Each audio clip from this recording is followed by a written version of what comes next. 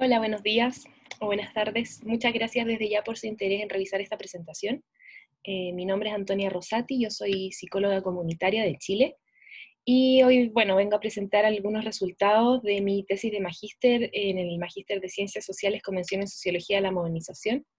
esta presentación se titula Enfoques de política social desde la perspectiva de participantes de programas sociales y se deriva de mi tesis de magíster em, relacionada con los enfoques de políticas públicas y los modelos apreciativos de programas sociales de intervención en pobreza, un análisis de caso del programa Fortalecimiento de la Vida en Comunidad, programa Acción del FOSIS,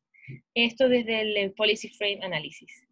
Eh, y para realizar esta tesis agradezco el apoyo financiero de becas eh, CONICIT, em, para estudios de magíster el año 2018. Eh, bueno, a modo de contextualización, en América Latina y en el mundo se ha analizado el desarrollo de distintas generaciones de políticas de protección social, cuyos enfoques suelen ser discutidos principalmente entre actores políticos y técnicos, sin ser claro cómo las comunidades destinatarias los comprenden estos enfoques y cómo los visualizan en la implementación de los programas.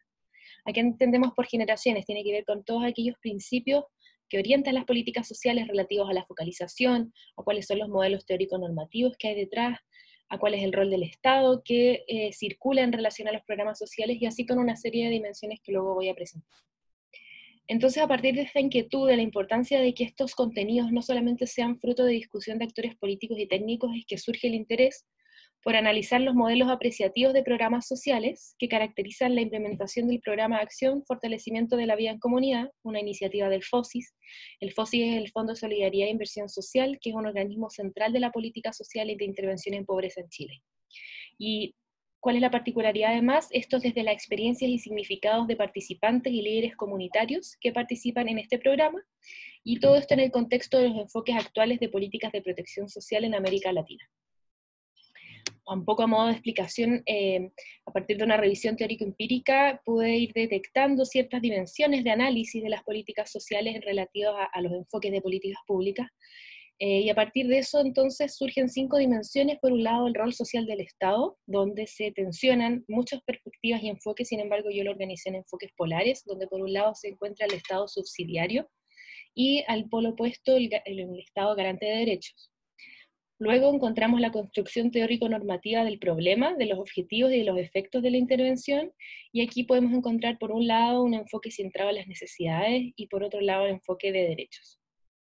Con respecto al tercer punto, el alcance poblacional, encontramos eh, donde existe en un extremo lo que sería la focalización individual centrada en las personas particulares y por otro lado el, universalismo con componentes focalizados, si bien el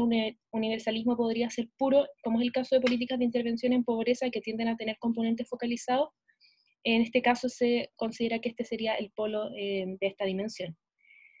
En cuarto lugar, encontramos la dimensión de interacción entre los actores involucrados, donde, eh, que tiene que ver con cómo participan e interactúan las distintas partes y actores involucrados en la política social, particularmente la implementación de un programa social. Y por un lado, aquí encontramos el enfoque asistencialista, y en el otro polo, el participativo de alta intensidad, que implica la participación en distintas etapas del programa, como por ejemplo el diagnóstico, la ejecución, la evaluación y también la conducción misma de la iniciativa. Y en quinto lugar, por último, encontramos el nivel de acción, que en uno de sus polos sería eh, la acción en eh, los efectos y las acciones a nivel individual, y en su otro polo encontramos más bien acciones y efectos a nivel comunitario. Eh, todo esto, bueno, en el marco de, esta, de, esta, de este trabajo se utiliza el Policy Frame Analysis, que, que, es un modelo teórico y también metodológico que comprende que los sujetos construyen la realidad social y van desarrollando marcos o narrativas genéricas que dentro de un determinado terreno público incluyen lo que necesita ser arreglado y cómo podría ser arreglado, guiando la acción de estos actores. Entonces, de esta manera, la idea aquí es tratar de construir y e identificar cuáles son estos marcos eh, interpretativos a la base de las políticas sociales, pero desde la perspectiva de sus propios participantes y líderes comunitarios que participan en el programa. Particularmente en este trabajo de tesis se busca establecer cuáles son los marcos hegemónicos, es decir, aquellos que tienen una mayor presencia y poder en el discurso, cuáles son marcos complementarios que tienen una menor presencia y sin embargo igual son relevantes para el programa, y cuáles son los marcos antagonistas o antagónicos eh, que tienen que ver con ciertos marcos que establecen relaciones de tensión entre, con los marcos hegemónicos y que de esa manera dan cuenta de ciertos marcos en conflicto. Esta sería la perspectiva eh, analítica que toma este trabajo y por último, bueno, el programa en particular eh, donde se realizó este estudio es el programa Acción Fortalecimiento de la Vida en Comunidad del FOSIS,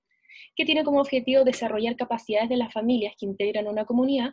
a través de un proceso de acompañamiento y apoyo comunitario.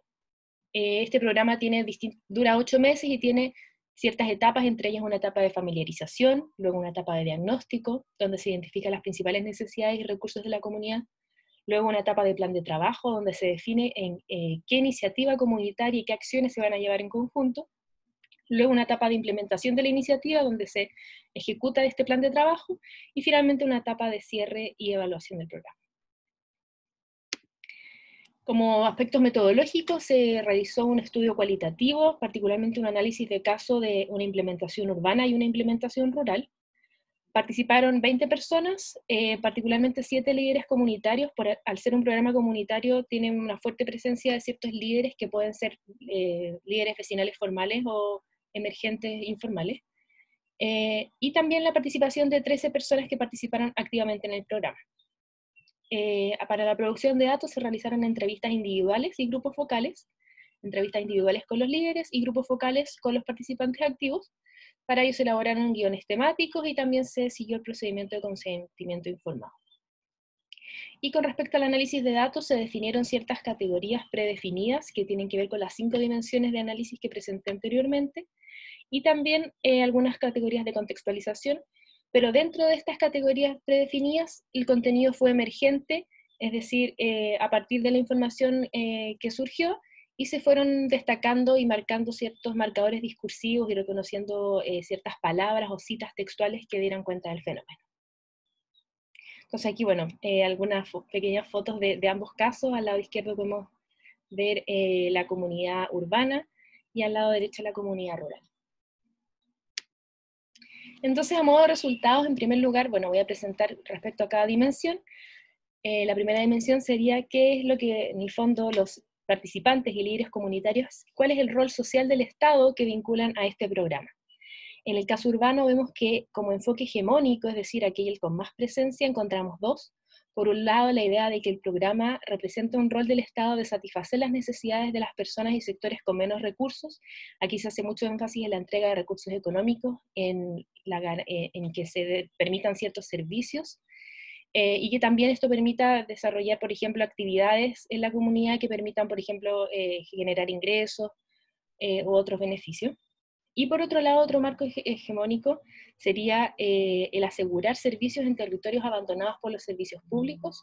Esto se habla, principalmente desde la falta de apoyo estatal y de presencia del Estado en el territorio y como que vendrían en el fondo a rescatar y a hacer eh, resurgir a la comunidad después de haber estado abandonados mucho tiempo por los servicios públicos. Eh, este marco en particular, estos dos marcos son complementarios, pues van muy unidos en el discurso y las necesidades son a la vez entendidas en relación a haber sido abandonados en el territorio. Y por su parte también,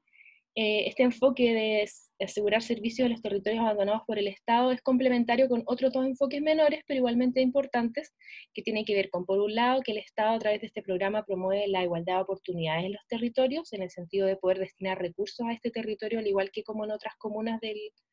del sector, y por otro lado, con el enfoque de garantizar servicios en sectores geográficamente aislados, y que esto tiene que ver con ser una comunidad distante en términos geográficos, y que este programa permite que el gobierno se despliegue en el territorio. En el caso rural vemos por otro lado nuevamente un enfoque bastante similar de satisfacer necesidades de personas en situaciones vulnerables, eh, que tiene que ver mucho con el concepto de necesidad, de, enfatizar la clase social baja, la, vulnerabilidad multidimensional y la pobreza. Y también vemos, por otro lado, el enfoque de promover eh, la igualdad de oportunidades en contextos abandonados eh, y en las comunidades. Y esto tiene que ver como con superar también el, el abandono institucional y el ser la última opción de los programas sociales y también, por otro lado, con respecto a las oportunidades en la comunidad, tiene que ver con que se superen ciertos favoritismos políticos y se permita la representación vecinal justa en el territorio. Y como un enfoque complementario nos encontramos aquí con el enfoque de instalar cambios culturales y hábitos en las comunidades, donde se habla de la importancia de que este programa favoreció que el Estado propiciara, eh, desarrollar una comunicación, vida comunitaria, mejorar el entorno y una serie de hábitos que permitan superar el individualismo. Por su parte, respecto a la construcción teórico-normativa del problema, los objetivos y los efectos de la intervención, por un lado nos encontramos en el caso urbano eh, con varios enfoques hegemónicos. Por un lado, fuertemente el enfoque de necesidades, desde donde se habla desde la falta, desde la necesidad, de la necesidad de mejorar y arreglar ciertas cosas. Eso marca mucho el discurso. Y dentro de estos enfoques nos encontramos con otros dos enfoques hegemónicos. Por un lado, el enfoque de apoyo, ayuda y obligación institucional, que va asociado a ser considerados, a recibir ayuda, a ser ayudados y recibir respuesta por parte de las instituciones e incluso en algunos casos se asocia a la obligación de resolver ciertas problemáticas. Y otro enfoque muy importante, también hegemónico en este caso, es el enfoque de capacidades comunitarias, pues se enfatiza la importancia de la participación, del bienestar, de la unión, del encuentro, el compromiso, la responsabilidad y la acción colectiva. Y cómo finalmente esto es clave para llevar adelante el programa y tener resultados positivos. Eh, estos dos enfoques son complementarios, pero a la vez se tensionan, pues si bien las personas reconocen que, es necesaria la participación comunitaria, existe la tensión respecto a que todo descanse solamente en la comunidad y no tanto en las instituciones que deben igual responder a sus necesidades. Pero el caso de este programa sería un buen ejemplo de cómo estos dos focos se pueden complementar de manera positiva. Y de manera complementaria encontramos un enfoque asociado a las capacidades individuales, si bien este es un programa comunitario, se reconoce que de todas maneras ayuda a través de las iniciativas como talleres, por ejemplo, ayuda a aprender, a desarrollar proyectos personales y también una serie de otras habilidades individuales. Por su parte, el caso rural, nos encontramos con que el principal enfoque hegemónico es el apoyo, ayuda y obligación institucional, que tiene que ver con ser beneficiados, con ser reconocidos y apreciados por las instituciones, y también en el fondo con una cierta obligación y de superar el abandono institucional. Y en particular aquí vemos también otros dos enfoques hegemónicos. Eh, por un lado, a través de esta ayuda institucional se enfatiza la importancia de desarrollar el eh, bienestar eh, material y el mejoramiento material de la comunidad a través del mejoramiento del entorno, de poder mejorar la entrada del sector, que fue la, la imagen que presenté anteriormente, y un énfasis bien marcado en los recursos económicos que implica el programa para hacer una iniciativa comunitaria en el territorio. Y por otro lado nos encontramos con el enfoque de capacidades organizativas y comunitarias, donde se destaca la importancia del trabajo, del sacrificio, del liderazgo, la comunicación, la organización comunitaria para poder llevar adelante estos eh, principales eh, aspectos más de beneficio material. Y de manera complementaria nos encontramos también con un enfoque que tiene que ver con el aprendizaje y la enseñanza a la comunidad, que tiene que ver con ideas como de entender, explicar, entrenar, eh, enseñar a la comunidad y poder cambiar su mentalidad. Luego, con respecto al alcance poblacional, eh, encontramos que por un lado en el caso urbano eh, está la predominancia del enfoque de la focalización territorial. Este es un programa que efectivamente es focalizado de forma territorial. Eh, sin embargo, lo que aquí interesaba es eh, cómo lo visualizan las propias personas participantes y líderes comunitarios. Y en que respecto a la focalización territorial llama la atención que muchas personas no tienen mayor claridad de los motivos o de los actores que están involucrados en la focalización, quienes toman las decisiones, por ejemplo, de focalizar el programa en ese sector. Y también llama la atención que se reconocen algunos motivos asociados a esta focalización, como las pobres condiciones de vida en la comunidad, pero también otros aspectos que no tienen que ver con la pobreza y la vulnerabilidad, sino más bien con aspectos subjetivos, como la necesidad de trabajar las relaciones comunitarias, o el hecho de que hay ciertas condiciones favorables para el programa en el territorio, como la cantidad de personas, la participación de la, de, la comunidad, y también la presencia de algunos grupos específicos que justificarían que se haga en este territorio, como serían, por ejemplo, los niños o los adultos mayores. Eh, sin embargo, se identifica que hay una cierta tensión, pues por otro lado, eh, muchas personas refieren a que en realidad este, este programa podría ser un programa universal, y esto a qué se asocia, la idea de que las necesidades son transversales a todos los territorios, independiente de sus características, por ejemplo, socioeconómicas, y entender la participación como un objetivo común y que también va más allá de las particularidades del territorio. y además aquí se ve una fuerte crítica a la, individual, a la focalización individual. Entonces así vemos cómo en este caso eh, existen ambas perspectivas, de manera muy predominante ambas, y sin embargo aparecen como modelos puros, no combinados. En el caso rural, por su parte, vemos eh, la predominancia de la también igualmente de la focalización territorial, y aquí, claro, por un lado se identifican también motivos asociados a las condiciones materiales deficientes, a la vulnerabilidad y al aislamiento, pero también vemos otros aspectos más objetivos como el, creer que la focalización fue realizada en el territorio, por ejemplo, para poder mejorar la imagen de la comunidad en la, en la comuna, o también por el abandono institucional o municipal, o asimismo también por otras condiciones favorables de éxito como la participación comunitaria.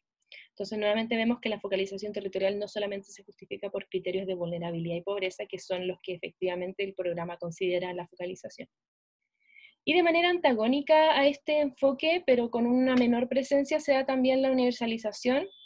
también desde la idea de que eh, todos los territorios tienen necesidades y también de la importancia de conocerse mutuamente y ofrecerse apoyo mutuo en todo barrio, en toda comunidad a nivel país. En cuarto lugar, nos encontramos con la interacción entre los actores involucrados. Y aquí a grandes rasgos lo que vemos es, en el caso urbano, em, participación de distintos niveles de intensidad. Por un lado, la comunidad participa en un nivel eh, moderado, principalmente en las actividades y en las acciones diagnósticas del programa. Por su parte, eh, los, eh, tenemos en segundo lugar que hay ciertas personas específicas de la comunidad y el grupo motor, que es un pequeño grupo que lidera el programa, aquí sí se encuentra una participación de mayor intensidad, donde se participa de la ejecución de las actividades, de las acciones diagnósticas, pero también de la conducción del programa. Y acompaña esto eh, de manera complementaria eh, el equipo interventor, el quien ejecuta el programa, también una participación de alta intensidad, donde también participan en la ejecución, diagnóstico y conducción del programa, desde haciendo un apoyo técnico en el proceso de trabajo conjunto. Ese es el énfasis que se le da principalmente al trabajo con la consultora en este caso. Eh, de manera antagónica se reconoce, sin embargo, también un marco eh, minoritario, pero que igual es interesante, donde el equipo ejecutor aparece también como una participación de alta intensidad en la ejecución, diagnóstico y conducción del programa, pero no tanto como un apoyo técnico, sino más bien como quienes guían la conducción del programa, de quienes se hacen cargo, quienes van eh, dando indicaciones y manejando la conducción del programa. Y este enfoque en particular se tensionaría especialmente de manera antagónica con eh, la participación de alta intensidad de ciertos actores y de la, del grupo motor, pues implica claramente una diferencia eh, en la situación de poder. Y respecto al caso rural, nos encontramos con que todos los actores que presentamos em, encuentran participación de alta intensidad, pues tanto los actores específicos de la comunidad, como el grupo motor y la comunidad, y como el equipo eh, de la implementación, desarrollan acciones de ejecución de actividades, diagnóstico y conducción del programa. Sin embargo, las principales particularidades aquí se da en que, por un lado, el enfoque hegemónico de la, de la participación del equipo ejecutor es desde como dando consejo desde atrás, ese es el, como un concepto en el sentido de tener un menor poder y más bien la comunidad y el grupo motor son quienes cooperan y lideran el proceso. Pero como algunos enfoques minoritarios y antagónicos, vemos por un lado em, eh, esta idea de que más bien el equipo implementador serían los que guían y los que lideran el programa. Y también otro enfoque antagónico tiene que ver con la idea de que ciertos actores específicos de la comunidad desarrollan un liderazgo conflictivo donde existen relaciones de poder y de tensión en la participación. Entonces aquí vemos que todos alcanzan altos niveles de intensidad, pero con diferentes matices y eh, grados de cooperación o conflicto que van variando. Y por último, respecto al nivel de acción, nos encontramos con el caso urbano, por un lado, eh, un marcado énfasis en cómo las acciones y efectos suceden a un nivel comunitario, tanto con respecto a procesos de familiarización, de conducción del programa, la toma de decisiones, y los efectos relacionados con mayor información, participación, convivencia, una mayor unión, poder aplicar proyectos, mejorar el entorno, una serie de acciones comunitarias. Y de manera complementaria nos encontramos con un enfoque grupal, pues se hicieron talleres grupales y se destaca que hay ciertos efectos que tienen que ver con ciertos grupos, por ejemplo, con los niños y con los adultos donde se da una, experiencia de aprendizaje grupal. Y también vemos un pequeño enfoque individual, pero igual importante, donde las personas destacan efectos psicológicos, poder aprender nueva información, poder aprender nuevos oficios y de esta manera mejorar su bienestar económico. Por su parte, en el caso rural nos encontramos con dos grandes focos hegemónicos y que son complementarios, y por un lado el enfoque comunitario, que tiene que ver con acciones a nivel comunitario, como el diagnóstico, las reuniones, y también con muchos efectos como el conocimiento, el apoyo mutuo, la preocupación, eh, la comunicación, la participación, la unión, etcétera, y también el mejoramiento del entorno. Y de forma complementaria con esto se identifica aquí un, componente importante a nivel organizativo, eh, que tiene que ver con em, la formación de un grupo motor, de nuevos líderes en el territorio, de poder también detectar irregularidades que existían en la Junta de Vecinos y poder reformalizar esta situación, hacer nuevas elecciones vecinales y una serie de otros cambios que fueron beneficiando a la organización vecinal del territorio. Entonces, a modo de síntesis, em, como resultados transversales, estos enfoques en las cinco dimensiones se pueden ver cómo se van integrando y configurando tres grandes marcos que dan cuenta de esta política social, de este programa en particular. El principal marco es aquí referido como el marco promocional comunitarista, donde vemos un marcado énfasis en las eh, capacidades organizacionales y comunitarias, en la focalización territorial, una participación eh, de enfoque de moderado a alta intensidad y también acciones a nivel comunitario y organizativo. Esto configuraría lo que es el marco hegemónico del programa y desde donde es principalmente eh, retratado y significado por los participantes y líderes comunitarios. Y luego nos encontramos con otros dos marcos de manera algo más minoritaria, pero igual presente en el discurso, que entran en, contacto con este marco hegemónico. Por un lado nos encontramos con el modelo residual minimalista,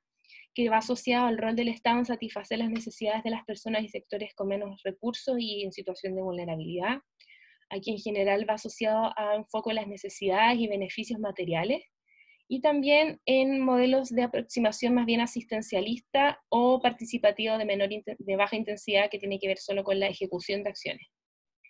Y por otro lado nos encontramos con un segundo marco complementario, eh, que es el modelo institucional universalista, que va asociado al rol del Estado en garantizar servicios y igualdad de oportunidades a los territorios abandonados por los servicios públicos, que va asociado también a un enfoque de ayuda, apoyo y particularmente de obligación institucional, y que también se asocia a políticas en la línea de la universalización o universalización con componentes focalizados. Entonces, de esta manera vemos cómo el programa representa un tránsito y, una, y, muchos matices entre estos tres grandes tipos de programas o modelos, eh, donde vemos también ciertas relaciones, pues, pues el modelo, por ejemplo, comunitario promocional, es decir, el hegemónico, se tensiona de cierta manera con el modelo residual en, el rol que da a la comunidad y a los espacios participativos. Por otra parte, el modelo residual minimalista se tensiona con el institucional universalista, pues tiene nociones distintas respecto a la focalización y al rol del Estado, es decir, una mirada más subsidiaria versus una mirada más universalista con enfoque de derecho. De esa manera vemos cómo este programa va representando y reflejando esta tensión o este tránsito entre modelos de políticas sociales. Finalmente, entonces, a modo de síntesis, vemos una incipiente instalación de un rol de Estado garante de derechos y de un enfoque teórico normativo de derechos, que se tensiona, sin embargo, con este rol subsidiario del Estado, el enfoque de necesidades y el enfoque de capacidades comunitarias que sí están mayormente instalados. Por otro lado, se releva la focalización territorial, y interesante aquí que se justifica por diversos motivos, no solamente por la pobreza y la vulnerabilidad, y se combina además con perspectivas universalistas, pero en general de forma excluyente, no tanto como componentes, sino más bien como dos opciones polares distintas. Por otro lado, respecto al enfoque participativo, vemos que existen distintos niveles de intensidad y participación en estos programas y, en general bastantes niveles moderados y altos de participación. Y también vemos mucho eh, la importancia de los efectos y de las acciones a nivel organizativo y comunitario, a modo de síntesis. Entonces, finalmente, como eh, conclusión del estudio, se ve que el programa es experimentado y significado por los participantes y líderes comunitarios desde múltiples enfoques de políticas sociales en América Latina, reflejando el complejo proceso de tránsito entre distintas generaciones de políticas de protección social, pero representando mayoritariamente a una generación de políticas que se ubica entre ambos polos analíticos que yo había, presentado al inicio y que se ubicaría más bien entre medio y son aquellas modelos de políticas sociales promocionales comunitaristas. Finalmente, a modo de reflexión, eh, parece importante incorporar en la evaluación de programas sociales y en los estudios sobre políticas sociales la perspectiva de los participantes sobre los enfoques que visualizan en el programa, esto tanto en su dimensión simbólica como práctica, entendiendo que estos enfoques y modelos apreciativos van a derivar también en formas de implementar los programas, en prácticas y en relaciones concretas entre actores particulares que configuran la implementación de programas sociales. Muchas gracias por su atención.